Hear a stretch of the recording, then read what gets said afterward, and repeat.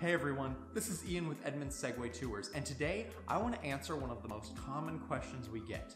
Are these things hard to ride? In short, no. And here's why.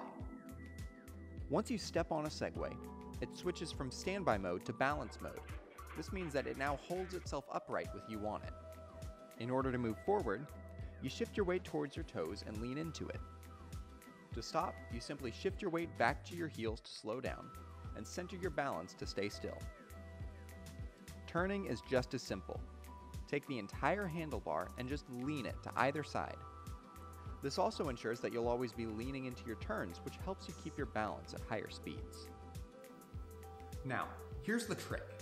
Anytime we're vertical, whether it be walking or even just standing still, we're constantly shifting our weight without even thinking about it.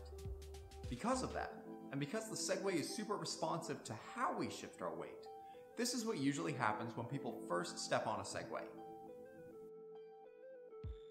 After you first step on, you may feel a little bit unsteady, but will quickly feel more comfortable as you get a feel for how the Segway responds to you.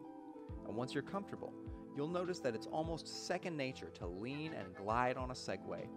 And it'll always move exactly how you tell it to, because it's how your body would naturally lean to move that way anyway.